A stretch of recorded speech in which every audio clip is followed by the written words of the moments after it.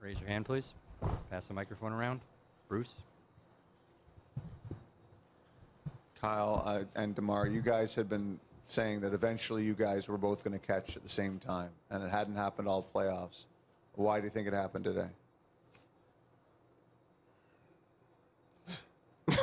Couldn't even tell you. You know, we just we just try to go out there and be aggressive. You know, we've been aggressive these these past two series, and you know, um, shots just wasn't dropping for us. You know, and we just told ourselves we was going to continue to be aggressive, and it was going to come back around. We understand we we understand that from the get go.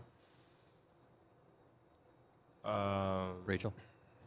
Um, Tamara, I just wonder about if you could describe kind of what you're experiencing with that thumb tonight, the kind of pain you were in, and what measures you had to take to uh, to deal with it through the night.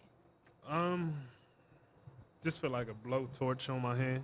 That's all, but you know, just something I got to deal with, man. You know, um, there's nothing else I can do about it, but just you know, try to play through it the best way I can, and and you know, deal with it later.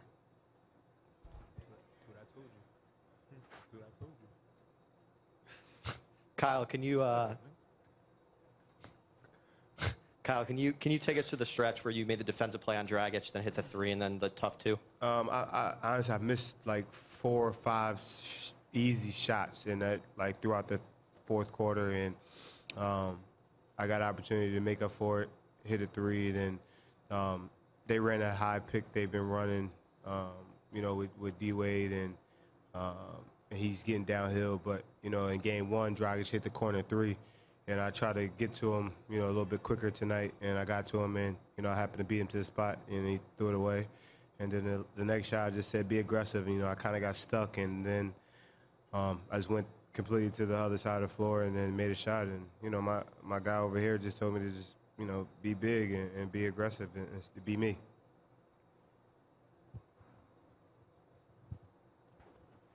Kyle, when they came back and cut it to three, there was a little bit of an eerie silence in the building, at least from the crowd. It felt like that. Obviously, you weren't phased by it. Um, what got you through in that moment when the pressure seemed to switch over to Toronto? Well, we understand that they're going to make a run at all times, and it's not going to be a 40-point game, a 20-point game. They're going to continue to play. Um, they, they are well coached. They play really hard, and they got Dwyane Wade, and, and they're playing. And he's playing at a, a level that he's you know pretty much played at his whole career. And um, knowing that, that that situation is at hand, you know, me and Demar, we're our closers, and you know we've been our closers all year. So if, if he had an opportunity to get a shot, I'm sure he would have tried to make it, and, and he would have taken it with confidence, and we would have had confidence in him, and, and the same, you know, vice versa for me. DeMar, what what happened when you, you re-injured the hand, and what was the conversation like back in the locker room, and how concerned were you that you might not be able to get back in there? Um, I just jammed it again. You know, um,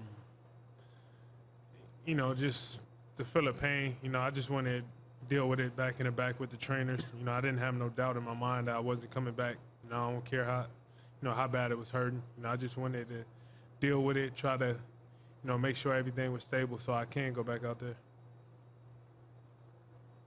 Go ahead, Chris. Uh, Kyle, Dwyane had said in the pre in the post game that you kind of looked like a boxer with all the, the bandages and everything.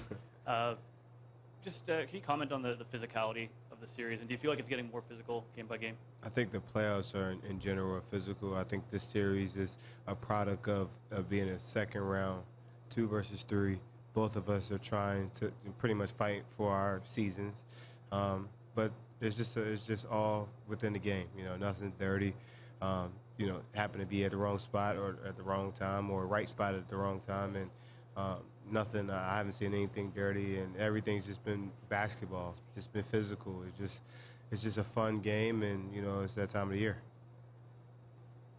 Any other questions? Thank. Oh, Holly, go ahead. Damn it, Holly. Sorry. Uh, what can you guys say about Bismack tonight, just from beginning to end on both ends? The blocks, the, the defense, the energy, his celebrations, the whole deal. I think it speaks for itself. You know, the the energy that he brings on both ends is amazing. You know, especially when he did the Usain Bolt. You know, um, you know that that type of thing get us going. Honestly, you know, when when Bismack is out there just being himself, you know, showing his charisma, and you know that kind of get us going. Final question to Eric, please. Demar, I don't want you to give away any secrets, but what can you say about Alex McKechnie's shoelaces? Thousand dollar shoelace. That's all I can say. You Thank know, you. thousand dollar shoelace.